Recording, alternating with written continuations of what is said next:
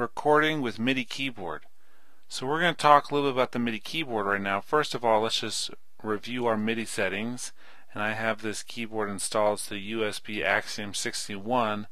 And right here is where it says it is active. If we want to turn it off, we can click right here or turn it back on. And so that's a great place to know about. Once you have that, this selector light means a lot. This is what's going to accept the MIDI live input. So if I click here, kick,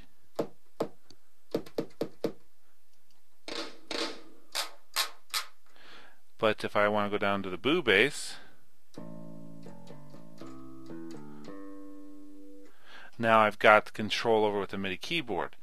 So we should talk just for a minute about the different settings we have with the pattern and the song and this changes the mode of our particular project. Pattern is going to deal with loops of whatever length we have here and we can actually change through those a little bit but for the most part we're going to work in song mode.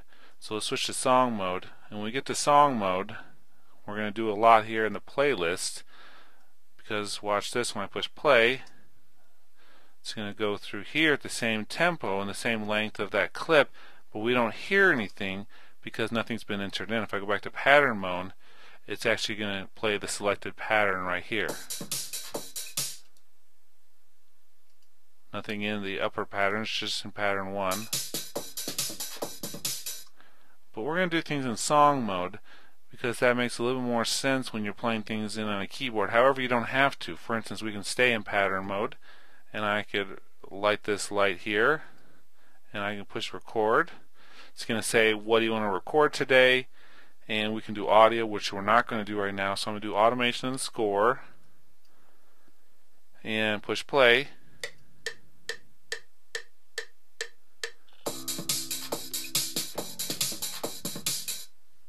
Push it one time and now you see that that gets entered in as these notes right here.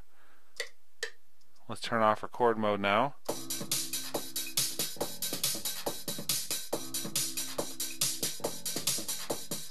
Okay, so now that's as easy as it is to enter in notes into the piano roll. Let's undo that though because what I want to do is actually come through here. Let's undo add note, record stuff. Perfect.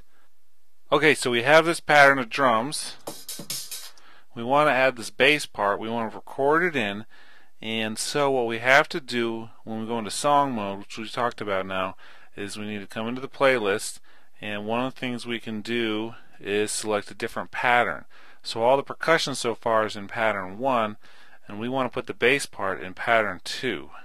So we select pattern 2, you'll see that all the notes disappear from our step sequencer and what we're going to do is actually now that we have pattern 2 selected, put it record arm mode, say automation score, we don't need to record audio at this time, and let's push record and once we do that we're just going to play the bass part in after the counted.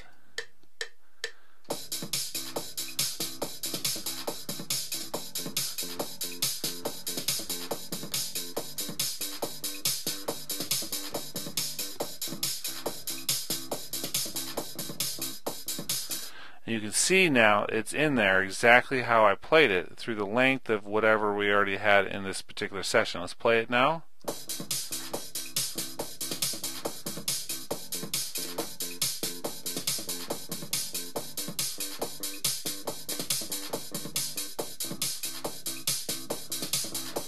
We could definitely tighten it up a little bit, but for now that demonstrates exactly how to play the keyboard in. So we have to do the second pattern for the second instrument we want push record and play.